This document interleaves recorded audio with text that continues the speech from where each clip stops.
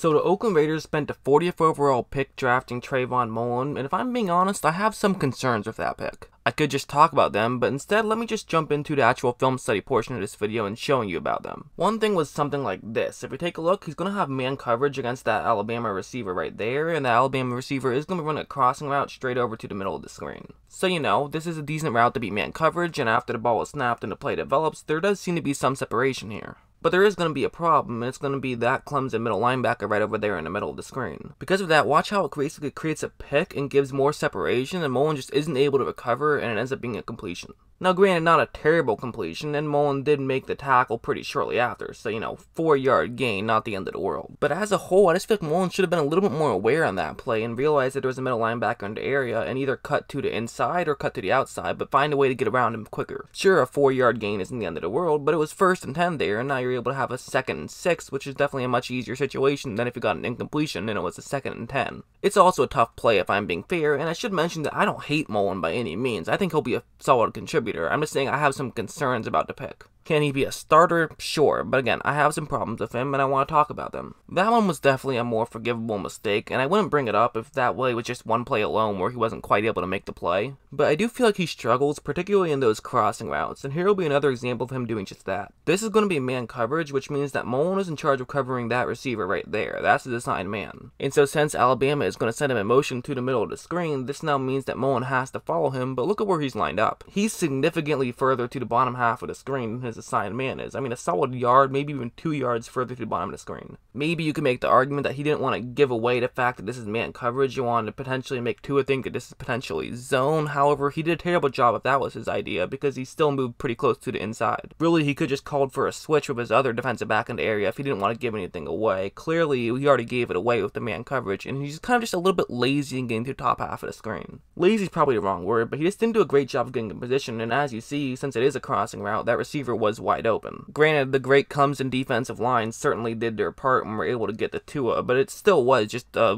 not a great play. Honestly, when it comes to defensive backs, just having good positioning is half the battle right there. If you're out of position, it can make things a lot more difficult for you. Like on this next one, it is once again going to be a situation where Mullen just doesn't do what he's supposed to do and doesn't get in perfect position. He's going to be playing man coverage against that Alabama receiver right there, and as you see, the receiver is going to be going a little bit in motion to the middle of the screen. And so now, as you see, as he cuts into the middle of the screen, he is easily open, going to make this catch and try to pick up some yards, but look at Mullen here. Every player is accounted for here except for Mullen. He's the one guy who's not getting blocked. So this now means that he should run up and try to make this play, but he's just playing so soft right now, which just really you shouldn't be doing. Now, granted, Clemson does make this play, but that's because someone got off their blocks and made a great play, not necessarily because Mullen did what he was supposed to do. In fact, Mullen did not do what he was supposed to do. I know he was focused on not giving up the touchdown, however, if that receiver breaks to the inside and no one gets off their block quick enough, that could have been an easy touchdown for Alabama. That is another concern I do have with Mullen, is the fact that he is playing a loaded Clemson defense, and part of me does kind of wonder how much of his success was from the defense. I mean, granted, a good defense doesn't make you a good player. I mean, if you're a garbage player on the best defense in the league, people will still notice that you're garbage. So obviously, you have to have some talent even with a good defense. But I do wonder if the good defense maybe makes him look a little bit better than he actually is. That's definitely just a concern of mine. And there's a reason I keep saying a concern of mine because I hope for everyone to do well. I want everyone to be a good player. You know, I don't root against guys by any means. I'm not like Colin Cowherd who bashes Baker Mayfield, but then hopes Baker Mayfield does bad so that way he can say that he was right. I'm not like that. When I say I have some concerns about someone, it's me hoping that they will fix these things and become a better player in the future. And you know, everything I have mentioned so far was mental, not necessarily physical. So I'm sure that was kind of the Oakland Raiders thought process to a degree is, hey, this guy does make some mental mistakes, but if we can just fix those, he can be a much better player. They're drafting him based off of potential, not necessarily how good are you today, and that does make some sense, especially with the fact that defensive backs do take a little bit longer to develop historically.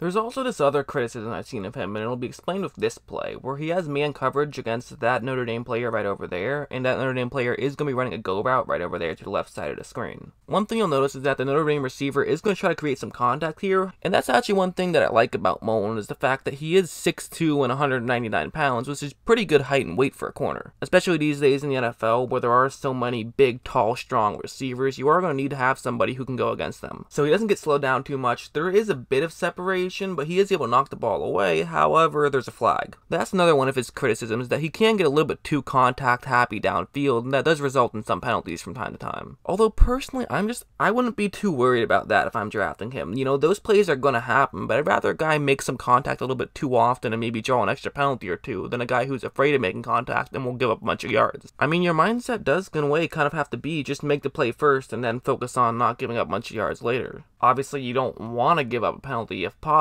but it's to happen sometimes. But as long as you make the play, half the time, the refs won't even call a little bit of contact. Actually, a lot more than half the time. If as long as you don't get anything too crazy, oftentimes the refs will not call it. And sometimes when there clearly is pass interference, the refs won't call it. So, you know, it is worth the risk. I mean, look at what Richard Sherman has done of his career, and he absolutely is the type of guy that'll grab a guy's arm from time to time, but sometimes it's what you have to do. But anyways, that's something that I feel like he's gotten some criticism for, but I don't really feel like it's necessary. But on this next play, I'll show you where I think he actually does something well. Yes, I have some concerns with him. I'll talk about some more concerns in a second, but this is more of just a breakdown of him as a player, not just me saying why I negatively think he's a bad player. I don't really just make negative videos on this channel. If you've watched this channel, you know that. Even my Nathan Peterman video, I tried to be as positive as I possibly could have. But anyways, as you see on the screen, that's the coverage that Clemson is in, as it's going to be a cover one linebacker blitz. That's where Mullen is on the screen, and it's actually bad news on paper, as the sign man is running a slant route here, which is a great way to beat a cover one linebacker blitz. It's a quick cut to the middle of the screen, and since there is going to be no one taking away that middle of the screen, this is perfect because the quick cut can allow someone to get open, and since he's going to be going to the middle of the screen, it can allow for a better angle for a quarterback to try to hit him. So, you know, great situation right off the gate if you are Notre Dame in this situation. However, look at how Mullen is able to break in and essentially take away that gap. I know this throw didn't even end up coming to him, but honestly, if the throw does go to that receiver on top half of the screen, Mullen might have been able to punch it out of his hands. If it was a catch, it wouldn't have been a catch for many yards, maybe three or four yards, and on a second down and 14, that's totally okay to give up three or four yards. One on that first play, giving up four yards and making it a second down and six just isn't a great play. Not a terrible play by any means, but something you would like to avoid if possible. One other thing I like about him is his balance. That's something that I feel like people don't talk about really at all when it comes to corners, but I think is very valuable is how good of a job can you do in making sure that you don't tumble over in certain situations and get off balance. Balance is a very important thing. I'll show you what I mean with this play. Now it's going to be in the top half of the screen as that's where is, and take a look what's going to end up happening here. So the Notre Dame player tries to cut back in, but look at Mullen here. More importantly, look how he basically plants that right foot basically right where he wants it. All his power is going on his right foot right here. His left foot is just to basically pivot and put him in a direction that'll help him with his balance. The whole point of a quick cut like that is to get your assigned man off balance. Is you cut right there and basically he'll continue running to the top half of the screen, his momentum will continue going in that direction. But with Mullen's good footwork and good balance, he's able to easily just not even give up any yards at all. Now granted, this play was never going to go in Mullen's direction regardless because it was a trick play to the bottom half of the screen, but you do have to give credit to Mullen for winning his one-on-one matchup even though it didn't matter. I mean, that receiver definitely ran his route as well as he could have, but Mullen just did a good job of taking it away. The whole point of that route from that receiver really was just to keep Mullen to the top half of the screen, and it worked out fine. But, you know, I'm using this as an example of showing that Mullen can play. However, it wasn't all good from Mullen. He definitely had his share of bad moments, even from that game. Like, if you take a look at this play, once again, man coverage on the top half of the screen. And one thing you're going to notice here is that that Notre Dame player is going to try to create some contact here right at the line. Unlike the first time where Mullen didn't really get moved so much, this time the Notre Dame player is actually putting both his arms on Mullen, which is, makes a lot of sense because Mullen is a slightly bigger back. Because he put both his arms on Mullen, this is going to allow him to push Mullen off to the right side of the screen even more. And so because of that, it's going to actually allow Mullen's assigned man to get a decent amount of separation, and while it doesn't appear there's any separation right now, this is actually a great situation for a receiver to be in. I know it's kind of hard to tell because this image quality isn't the best. Again, as I mentioned before, it's just hard to find good quality college games. With the NFL, they have all 22. There is no all 22 for college. I kind of have to just use whatever I can find. And unfortunately, sometimes whatever I can find doesn't show the plays the best way I want to show them. But if you can't make it out, I'll explain it to you. Basically, what's happening right now is that the receiver's head is facing the ball right now. He's looking back to see where the ball is, whereas Mullen had to catch up, so now his back is facing the ball. Mullen ends up running past the receiver because the receiver was able to look, whereas Mullen was essentially blindfolded because of that initial move. Mullen got beat at the line, which allowed a receiver to then have an advantage, and because of that advantage, the receiver capitalized by being able to make a catch. But actually, what I find even more interesting is going to be a play on that same drive. Once again, being covered in the top half of the screen. However, take a look at what Mullen does this time. He's not going to welcome any contact at all. He starts running just straight back. He's just going to give up a couple yards. He wants to make sure that he doesn't get beat like he did last time. It's good if you don't want to get beat over the top. However, the problem is that that receiver is not running a go route this time. He's actually going to be cutting in. He gets wide open here. It's a run play, so it didn't matter, but he was wide open if this was a pass. And I actually don't even think that he was trying to get open on that play too much. I think he was just, you know, running a route to make sure Mullen stays away from the running back. But despite that, Mullen just kind of made a bad play there. He essentially overthought it, where because he got beat by physicality one time, now he wanted to make sure he didn't get beat by that again, but really it was okay to get beat by physicality every now and then. If a receiver has to use both arms to try to create contact on you, that's not too difficult. You know, maybe he shouldn't be that close, maybe he should have taken an extra step, but you don't have to take an extra three steps, that's too much. He overcorrected there and it came back to bite him. There's one more thing I want to talk about when it comes to Mullen, and that's how effective can he be in the running game, because that is something that matters in the corner. Maybe it's not the most important thing, but it does actually have some value if you have a corner who can stop the run. There are plays where you're going to have to have a corner be able to go out and make a play, and Mullen can go out and make a play. Like on this one, it's actually going to be run to the top half of the screen, and so Mullen's going to be the guy who has to run out and try to make this play, but look at how he's going to be able to do it. He very quickly realizes what's going on and breaks up to the top half of the screen, and because he does have that quick first step and he is able to move very quickly, he is going to do a very good job of running up there. I mean, that's where the Alabama running back is, and he has a few steps on him already to the top half of the screen. Now, granted, Alabama does have someone who's going to be trying to block him, but Mullen is ahead of him too, so he can potentially run around him and basically force the back to have to run to the inside. Either he'll be in position to make the tackle to the outside, or the halfback will have to cut to the inside, in which case there will be another Clemson player in the area who could try to make a tackle. Granted, this play actually doesn't even matter as it gets called back, but Mullen did a very good job of that first step on that one. I thought that play still showed what he can do at the beginning of the play, even though it didn't end up mattering. There was also this play, and it is going to be man coverage, as you see, is that's his assigned man, but take a look what's going to happen once that man goes in motion. Since he's going to the top half of the screen, and Mullen doesn't want to be out of position, there's actually going to be a switch here. Those two Clemson players are pretty much just going to switch assignments, where the one on the top half of the screen is going to now be in charge of covering that receiver, and Mullen is now going to be in charge of covering the top right-hand corner of the screen.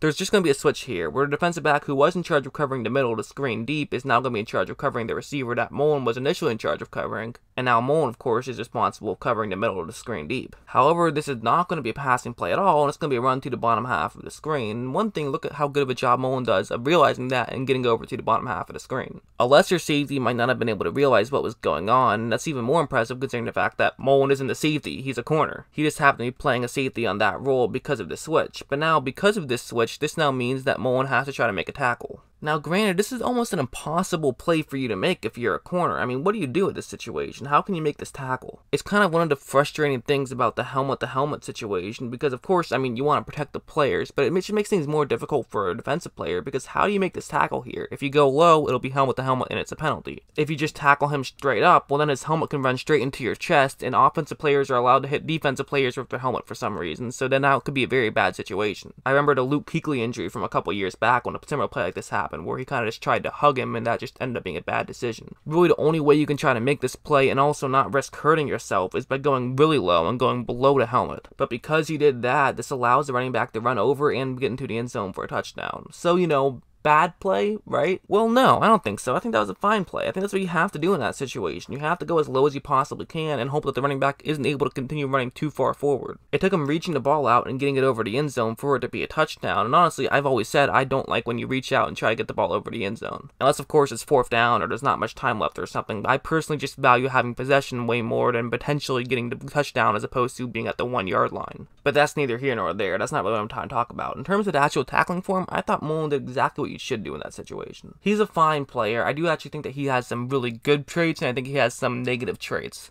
Most of my concerns towards him are mental concerns, which probably is a good thing if you're a Raiders fan, because that gives you hope that he can potentially, you know, work out the kinks and become a very good player. It also probably means that he won't be winning a Defensive Rookie of the Year award. I think he will take some time to develop, and you know what? That's okay. The Raiders clearly are in a rebuild. I do think they're going to try to be somewhat competitive next year. I definitely don't think they're going to try to tank. And in fact, they didn't try tank last year either. I always hate when people get tanking and rebuilding confused. Those are two different things. Rebuilding is when you know you're bad, so you give up assets to try to get draft picks to be better in the future. Meanwhile, tanking is when you intentionally try to be bad to try to get as good of a draft pick as possible, and I don't think they did that. They were trying to win last year. They weren't tanking. They weren't a very talented team, so they didn't win much, but they weren't intentionally losing, so that doesn't qualify as tanking in my opinion. But anyways, I don't hate Mullen or this pick here at number 40. He clearly has some talent. I definitely am concerned about certain things, but hopefully he does figure those things out and becomes a very good player in the near future.